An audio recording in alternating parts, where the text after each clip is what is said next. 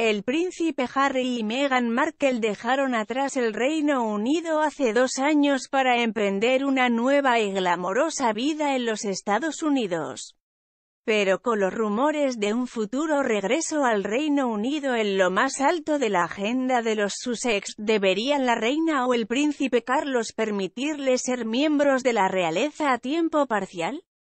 Diga su opinión abajo. El príncipe Harry y Meghan Markle han residido en la soleada California desde el Brexit, pero inicialmente los Sussex esperaban continuar apoyando a la reina y sus patrocinadores reales después de renunciar como miembros de la realeza. Y parece que Harry y Meghan aún podrían esperar un regreso triunfal al Reino Unido en el futuro, según el autor real Tomkin, quien le dijo al podcast for Daily, algo interesante que me dijo una fuente, es que tanto Meghan como Harry creo que cuando los miembros mayores de la realeza mueran, en otras palabras, Isabel, es posible que cuando Carlos sea rey, puedan regresar y ser los miembros de la realeza a tiempo parcial que realmente querían ser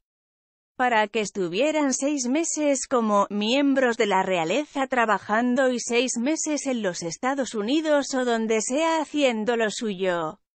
Eso fue algo que la reina Isabel dijo absolutamente que no podía suceder, pero creo que Meghan y Harry esperan que Charles, el padre de Harry después de todo, sea más un modernizador y les diga, está bien, si quieres ser miembros de la realeza a tiempo parcial, eso está bien.